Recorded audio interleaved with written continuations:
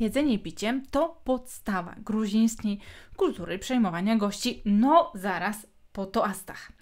Zatem, oglądając dzisiejszą naszą mini lekcję wideo, czyni gruzińska restauracja bez tajemnic, poznasz odmianę czasowników pić i jeść oraz kilkanaście przydatnych dodatkowych zwrotów i przykładowych zdań, właśnie które mogą Ci się przydać w gruzińskiej restauracji albo szerzej, jak mówimy o gruzińskim jedzeniu.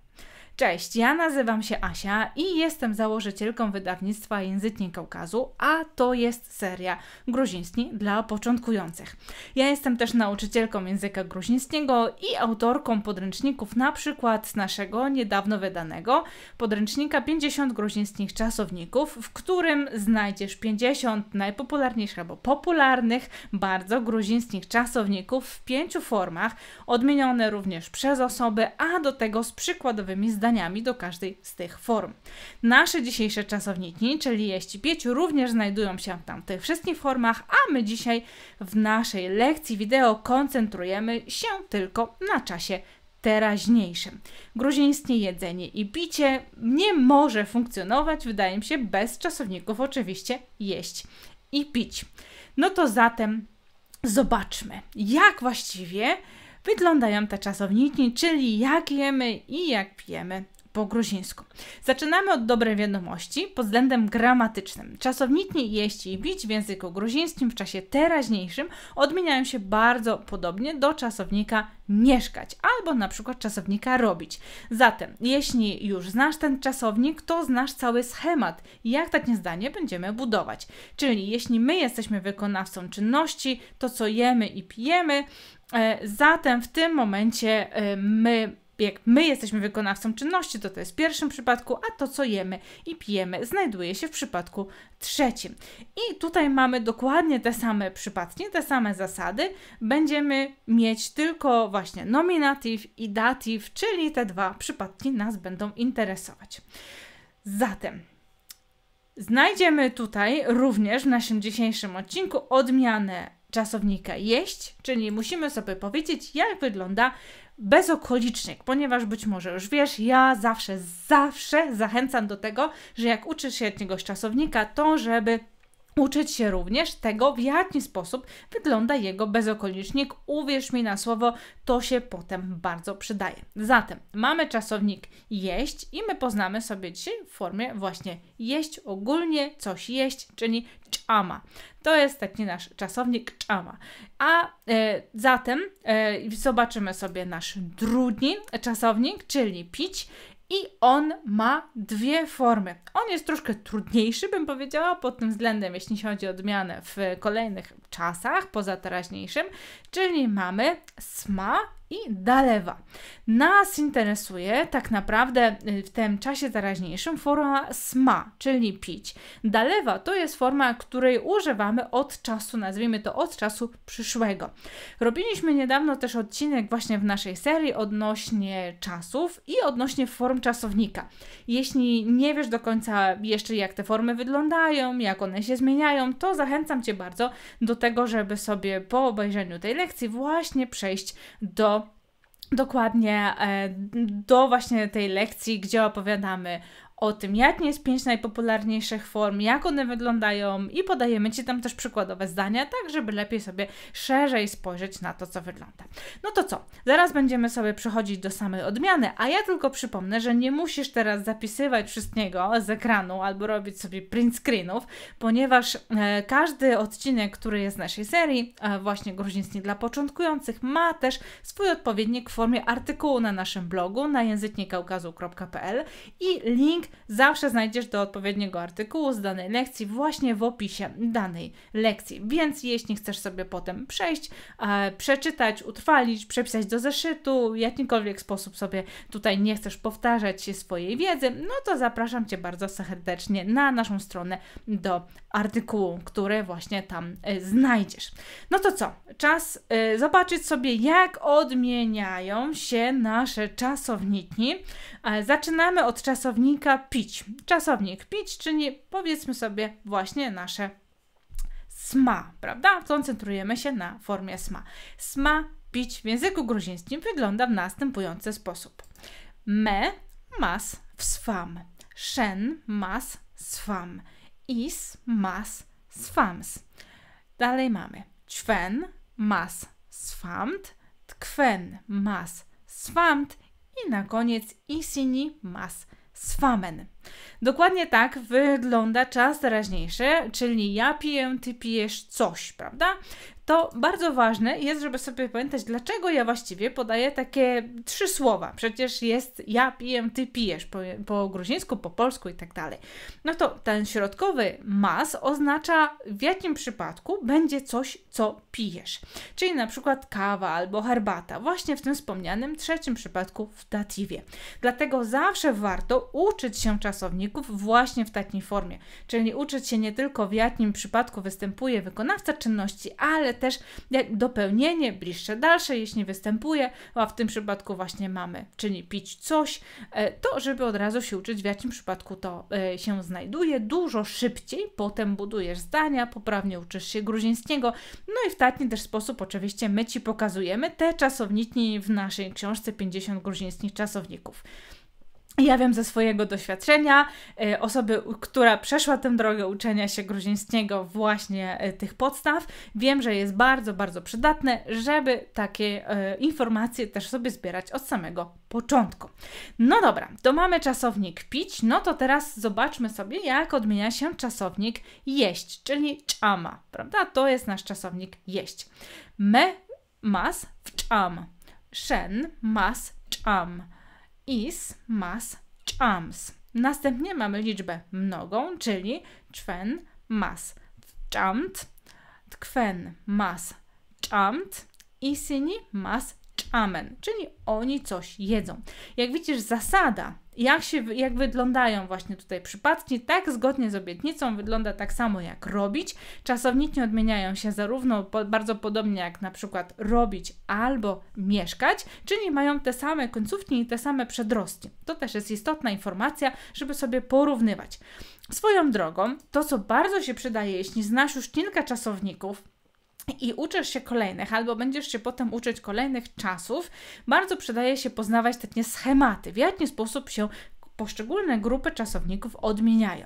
My mamy dla Ciebie, y, przygotowaliśmy takie trzy grupy rozpisane w schematach w trzech różnych formach czasownika, czyli właśnie takie tabele, tabele jakby, może tak schematy bardziej, schematy odmiany i mamy je w formie, że tak powiem, prezentu. Jeśli jesteś zapisany albo zapisana na nasze kaukaskie listy, czyli na nasz newsletter, wtedy automatycznie jak się zapisujesz, wędruje do Ciebie PDF właśnie z takimi tablicami. Tam jest e, czas teraźniejszy, czas przeszły niedokonany i czas przyszły, czyli takie podstawy, które na samym początku uczenia się są bardzo, bardzo przydatne. Między innymi odmiana tych czasowników również tam się zawiera. Jeśli tego nie masz, e, to najprostszy sposób, a chcesz i, e, że tak powiem, wierzysz mi na słowo, że się bardzo przydaje, to są dwie opcje. Pierwsza, analizujesz sobie czasowniki i właśnie patrzysz patrzysz sobie, budujesz takie schematy na tej podstawie. Druga, być może łatwiejsza, zapraszam Cię na kaukaskie listy i wtedy wysyłamy również do Ciebie właśnie w formie PDF-a takie schematy odmiany, a w efekcie ja kaukaskie listy wysyłam raz na tydzień, raz na tydzień wysyłamy Ci newsletter, między innymi informując, że pojawiły się kolejne lekcje tego typu. Więc między innymi o tym piszemy. No dobra, to mamy odmianę, jak wyglądają właśnie te nasze dwa czasowniki i wiemy, jak wyglądają, wygląda schemat zbudowania takiego zdania, no to skoro już wiemy, jak pijemy i jak jemy po gruzińsku, czas na kilka produktów spożywczych, no bo trudno by było stworzyć zdanie bez dodatkowych słów. Dla przypomnienia, wszystko co będziemy jeść i pić będzie w tym trzecim przypadku, dlatego na przykład, jeśli chcemy powiedzieć zdanie, ja jem haczapuri, czyli bardzo często zdanie wypowiadane w Gruzji, będzie wyglądało tak. Me haczapurs wczam me haczapurs wczam, prawda? W ten sposób, więc jak widzisz haczapury i dodaje, dochodzi s, zmienia nam się to słowo, bo jest to trzeci przypadek. No i bardzo podobnie będzie z napojami, czyli na przykład ja piję kawę, me kawas swam, me kawas swam. Dokładnie tak samo. Jestem również bardzo ciekawa, bo tu sobie mówimy o trzecim przypadku, Czy znasz trzeci przypadek? Czy generalnie znasz przypadki w języku gruzińskim? Bo się trochę zastanawiamy, w którym momencie wrzucić właśnie lekcję wideo na ten temat. Więc daj znać w komentarzu, jak tam z Twoimi przypadkami, czy już przygotować taką lekcję, czy jedziemy z innymi informacjami, a do trze trzeciego przypadku możemy sobie kiedyś dojść, bo już dla Ciebie to jest wszystko jasne i oczywiste. Ten trzeci przypadek w małym palcu jest, więc nie potrzeba. Daj znać w komentarzu, jak to właściwie u Ciebie wygląda.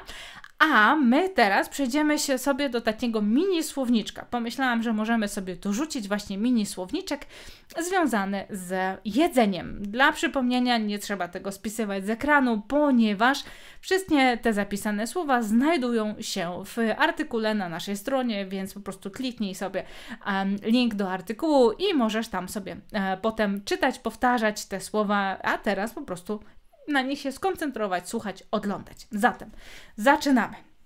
Pierwsze słowo. Puri, czyli chleb. Puri, czyli chleb. Następnie pomidor, pomidori. Pomidori, pomidor. Kitri, ogórek. Bardzo przydatne słowa, czyż nie? W Gruzji kitri. A zatem mamy następne katami. Katami kura, kurczak. Horci, mięso, bardzo często e, używane słowo horci. No to zobaczmy rodzaje mięsa. Dzrochis horci, dzrochis horci, czyli to jest wołowina.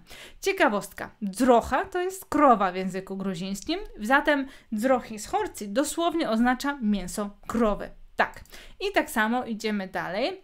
Horis horci, horis horci, czyli to jest wieprzowina, dosłownie mięso świni. Dobra, to teraz coś może z warzyw, czyli ziemniaki. A co? Kartopili. Kartopili, ziemniak. Kartopili, ziemniak. I najbardziej popularne warzywo chyba w Gruzji, czyli bakłażan, badridżani. Bakłażan, badridżani.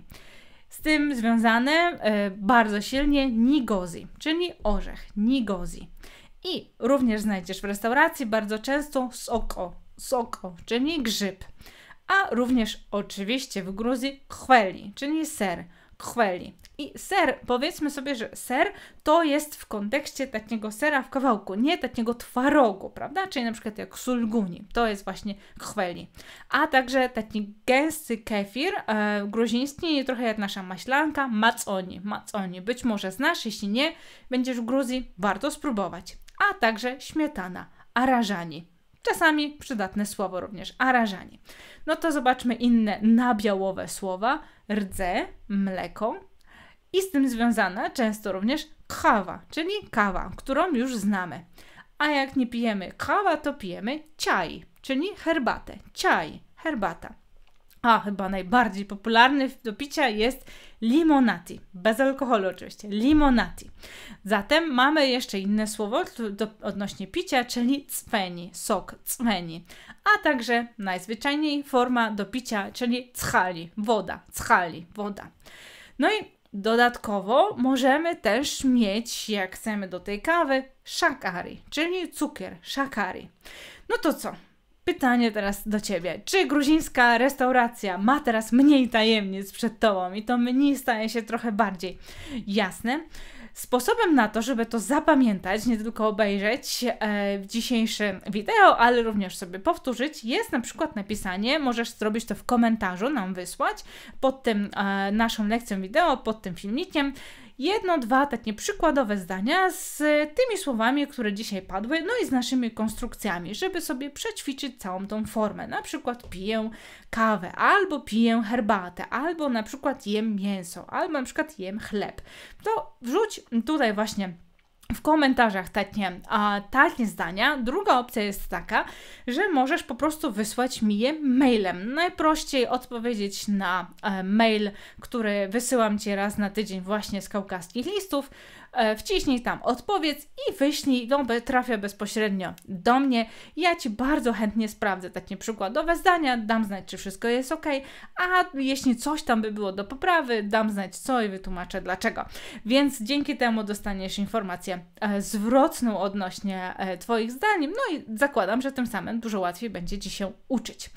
To co? Jeśli jeszcze nie jesteś na kaukaskich listach, link, tak jak wspominałam, znajdziesz e, właśnie w opisie tego odcinka, a dodatkowo dostaniesz od nas tablicę e, właśnie odmiany czasowników, między innymi tych, o których mówiliśmy sobie dzisiaj. No dobra, to koniec dzisiejszej lekcji jak Ci się podobało, to przede wszystkim daj znać łapkami w górę i żeby Ci nie uciekło, subskrybuj e, właśnie nasz kanał. Wtedy pojawiają Ci się informacje odnośnie zarówno nowych lekcji, jak i nowych odcinków podcastu Kaukazomaniacy, w których nie tylko opowiadamy o gruzińskim języku, ale szerzej o Kaukazie, o książkach, o tradycjach, e, o poszczególnych krajach i tak dalej. Mamy wiele różnych tematów. Tam na przykład o gruzińskiej herbacie, tak przy okazji mamy odcinek o gruzińskiej herbacie, do którego też serdecznie Cię zapraszam. No dobrze, dziękuję Ci bardzo za dzisiejszą lekcję. Trzymam kciuki za naukę gruzińskiego. Daj znać w komentarzu właśnie swoimi e, jednym, dwoma przykładowymi zdaniami i widzimy się w kolejnym naszym wideo albo w tej serii, albo w podcaście. Do zobaczenia. Cześć!